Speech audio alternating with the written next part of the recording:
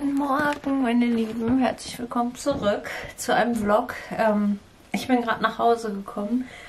Es war schon mega stressig hier heute Morgen. Ich hatte heute Morgen um 8 Uhr einen Termin beim Gutachter wegen meinem Zahnersatz. Ähm, das habe ich euch schon mal erzählt, dass da halt immer wieder was abbricht und so. Also irgendwie sind wir verflucht. Es läuft nicht so, wie es soll. Ähm, immer ist irgendwas. Ja, jedenfalls musste ich dann zeitig los heute Morgen. Und ja, dann Calvino sollte zur Schule. Ich hatte euch Anfang der Woche erzählt, dass er Bauchschmerzen hatte und dass wir in der Kinderklinik waren und das aber nichts lebensbedrohliches und dann nochmal beim Hausarzt und dann ging es ihm auch besser.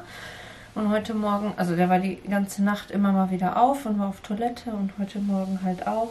Und dann sind wir nochmal mit ihm zum Arzt gegangen, also Bernd dann, weil ich ja zu dem anderen Arzt musste und der Hund musste raus und also war es total stressig. Ähm, dann das Schlimmste, was noch war, ich war dann einmal auf Toilette heute Morgen und ich hatte dann zum Abputzen, also ich hatte mir die Nase geputzt und habe dieses Tuch dann zum Abputzen genommen und dann war ein Tropfen Blut an dem Taschentuch.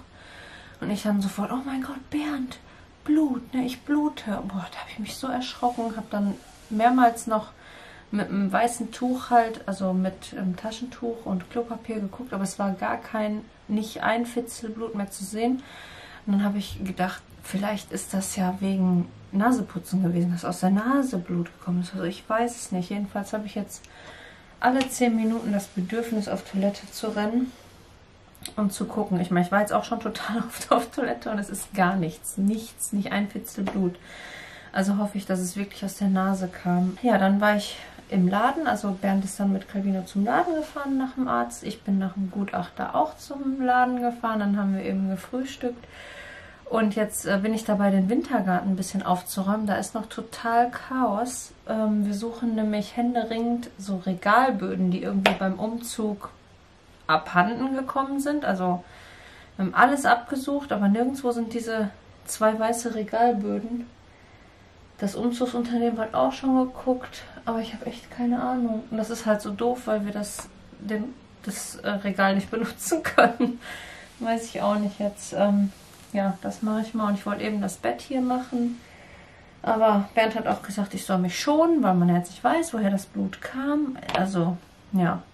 Meine Hebamme muss ich noch anrufen. Ich muss noch einen neuen Termin machen für, für die Vorsorge, weil ich ja im Krankenhaus war diese Woche wegen dem Schlag auf den Bauch. Muss ich den Vorsorgetermin noch machen. Dann muss Bernd, der fährt nachher zu dem Küchenladen, wo wir damals unsere Küche geholt haben. Der muss noch Schränke also einen Hängerschrank 30 cm, Entschuldigung, nachordern, weil wir jetzt irgendwie mehr Platz haben in der Küche. Also nicht genug, um den großen zu hängen, aber genug, um noch wenigstens einen kleinen zu hängen. Und ach, ich sag euch, unglaublich. Da war auch irgendwo musste der Bernd hin danach. Hat gesagt, wenn ich da bin, dann fahre ich da sofort auch vorbei. Ich weiß nicht, noch irgendwas muss er machen. Also es ist ein ganz äh, busy Tag heute. Und das Bett, ich wollte es erst abziehen. Es wäre Zeit, aber ich habe gedacht, das mache ich dann nächste Woche. Genau, ab nächste Woche darf ich nicht mehr arbeiten. Mein Nagelstudio schließt wieder, weil jetzt halt November. Also ihr seht das Video ja hier erst Mitte November. Für mich, also heute ist der 30. 30.10. ist heute und es wurde jetzt beschlossen, dass Nagelstudios und Kosmetik alles wieder schließen muss. Das heißt, ich darf nicht mehr arbeiten für einen Monat mindestens und wir befürchten dass es viel länger gehen wird. Aber keine Ahnung, ist halt eine Überraschung. Jedenfalls, was ich damit sagen wollte, ist, dass ich nächste Woche mehr Zeit habe. Dann ich das Bett nächste Woche beziehen. Aber ich werde es jetzt eben machen. Ich habe es gestern noch abgesaugt, weil ja der Smurfy bei uns schläft.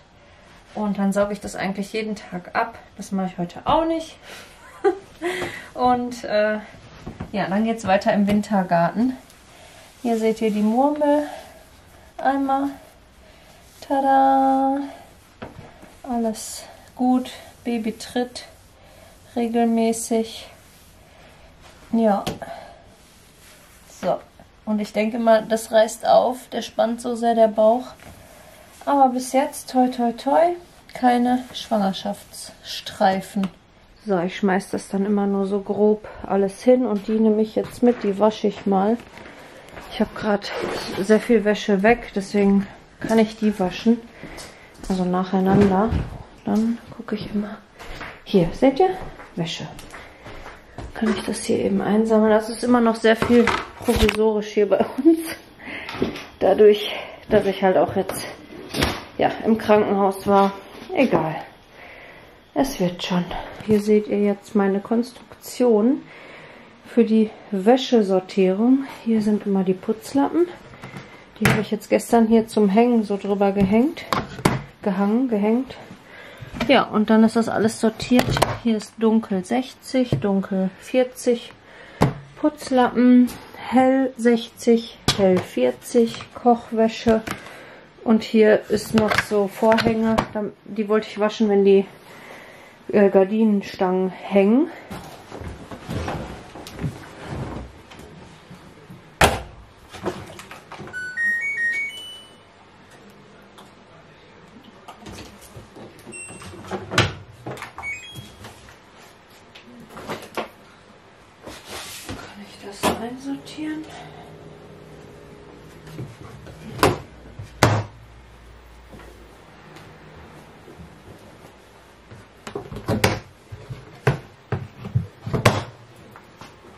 Also, falls ihr ein geeignetes System sucht für Wäsche sortieren, bei Ikea gibt es diese Kisten. Super klasse. Und, ach, ich habe auch Putzlappen aus dem Laden mitgenommen. Die muss ich auch gleich waschen und trocknen.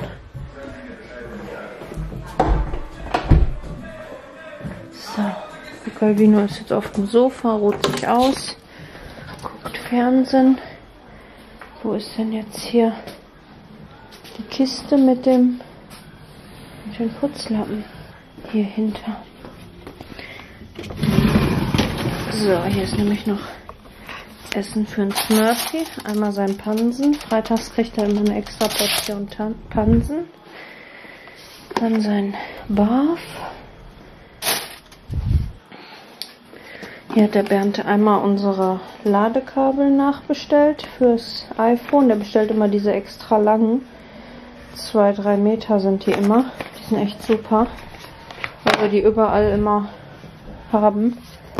Und hier habe ich Calvino, ja, eigentlich für die Schule ein Brot gemacht und was weiß ich, geschnibbelt alles, aber das wurde ja nichts.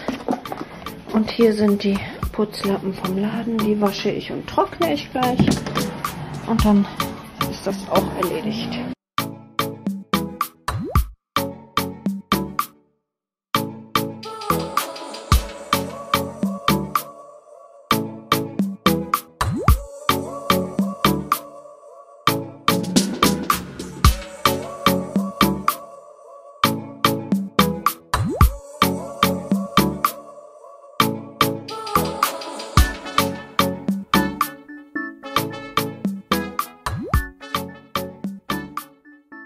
Habe jetzt hier so grob die Termine alle verschoben. Also, was heißt verschoben? Abgesagt, weil ich ja nicht weiß, ob wir im Dezember das Nagelstudio überhaupt wieder aufmachen können. Und dann habe ich auch bei Vielmann Termine vereinbart. Die habe ich ja abgesagt wegen Quarantäne. Drehe euch mal um.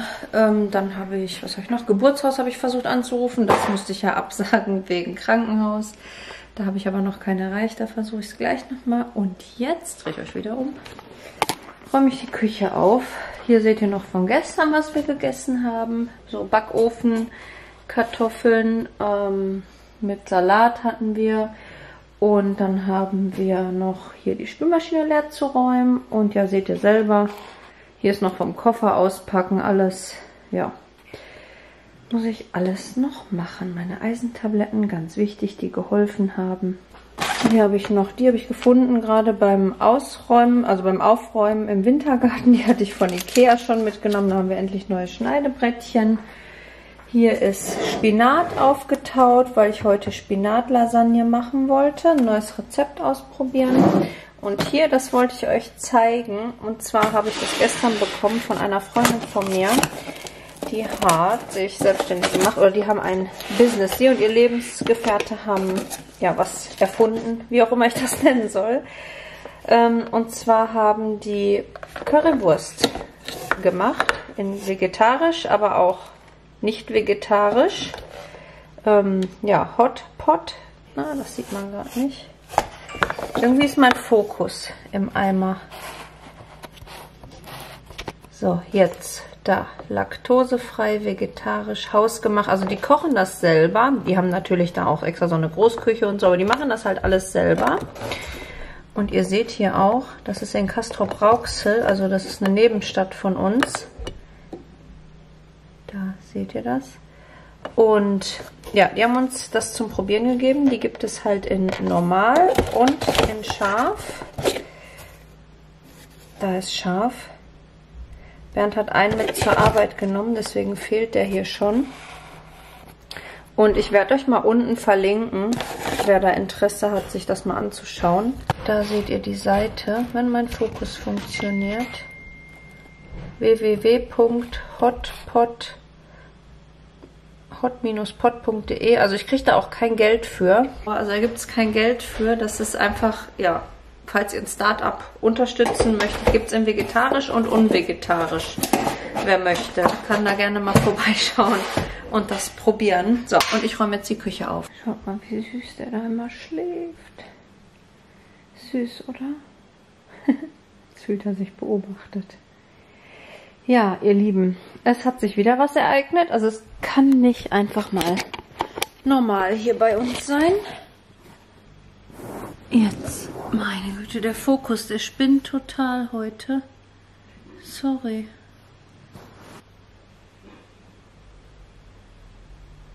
Jetzt ist es scharf und ich hoffe, jetzt bleibt es auch scharf. Meine Güte. Also, was sich ereignet hat gerade. Ich bin mit dem Smurfy und mit dem Calvino spazieren gegangen, also wollte mit denen spazieren gehen. Das Calvino hatte den Smurfy an der Leine und ich hatte halt Müll in der ähm, Hände vom weil der halt voll war, den Mülleimer. Regenschirm hatte ich dabei, ich hatte Gummistiefel an, weil es halt regnet draußen. Dann durch diese Gummistiefel, ich habe euch mal erzählt, wir haben so eine Außentreppe hier, wenn wir halt aus dem Haus rauskommen. Die ist auch ziemlich hoch und steil, aber hält sich alles noch in Grenzen, ja. Und die Stufen waren halt mega rutschig von dem Regen und dann bin ich ausgerutscht. Ja, und bin dann so äh, äh, äh, auf dem Rücken die, die Treppe runter, also auf dem Popo und auf dem Rücken, nicht auf dem Bauch, die Treppe runtergefallen. Ich habe den Müll halt dann so weggeschmissen und habe versucht, mich am Geländer festzuhalten, aber ja, war nichts zu machen. Bin bis unten durchgerutscht. Und natürlich mega erschrocken, vor allem Calvino, der hat sich total erschrocken. Mama, Mama, Mama, ist alles okay, ne? Tut dir was weh, was mit deinem Bauch und so. Ja, ich bin dann erstmal sitzen geblieben. Mir tat hauptsächlich der Hintern und der Rücken weh.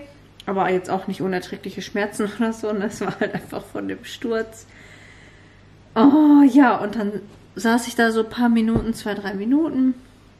Und dann ging es auch wieder. Ich habe halt Angst gehabt, dass ich jetzt so Kreislauf kriege und dann auch noch hinfall. Deswegen bin ich erstmal sitzen geblieben. Aber ja, es war alles okay. Ich habe dann den Müll wieder aufgesammelt, weggeschmissen. Es war halt nur ein Riesenschock zum Glück. Also es ist nichts groß passiert. Ich sage euch was.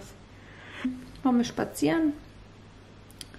Und dann, als wir nach Hause gekommen sind, habe ich uns einfach Reis gekocht. Dann haben wir uns so Tomate und Gurke dazu geschnitten. Wir hatten noch die Restkartoffeln von gestern, haben wir Reste gegessen.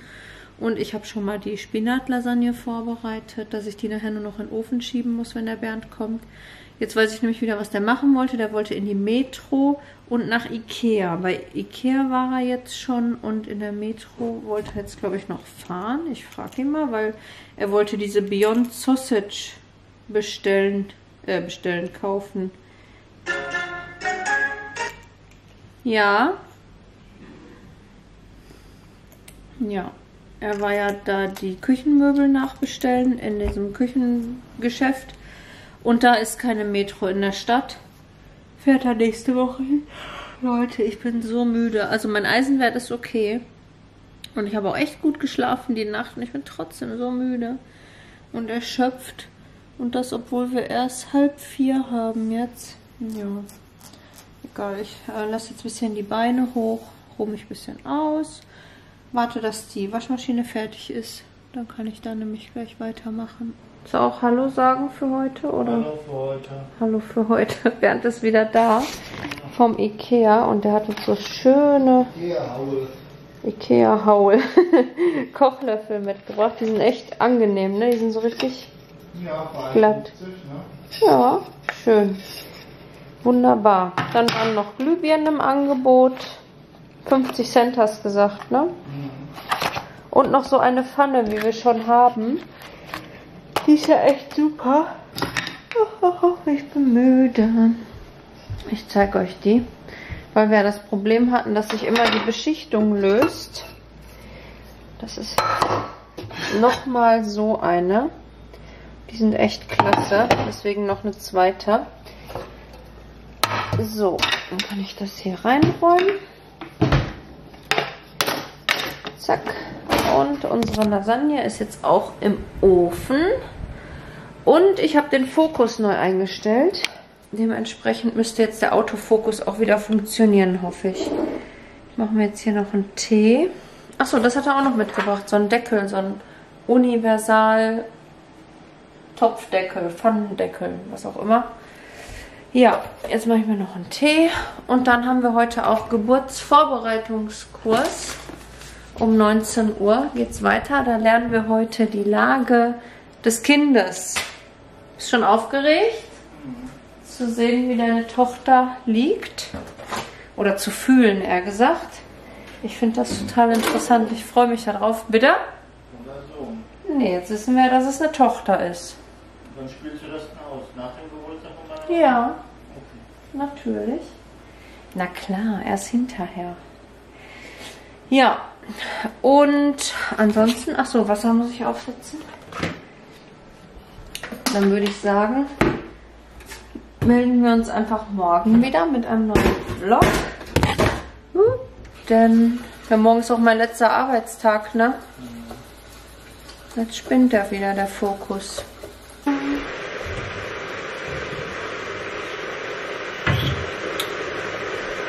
Meine neue Weihnachtstasse. Die habe ich mir bei Action mitgenommen.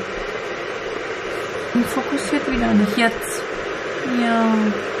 Ich hatte schon mal so welche mit einer Teekanne auch, aber die sind irgendwann abgesplittert. So, die waren richtig schrömmelig geworden. Deswegen habe ich mir eine neue geholt, weil ich dieses Jahr so in Weihnachtsstimmung bin. Da gibt es jetzt schön Kiebertee. Was, Murphy? Ärgerst du Härchen? Hm? Ärgerst du Härchen?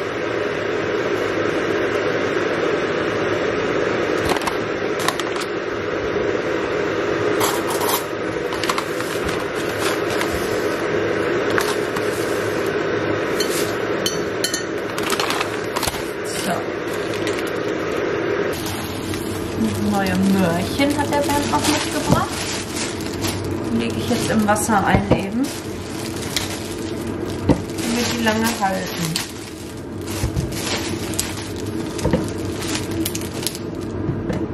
Achso, ich wollte das Video ja beenden, ne? So. Bis zum nächsten Mal. Vielen Dank fürs Zuschauen. Tschüss. Schon wieder vergessen.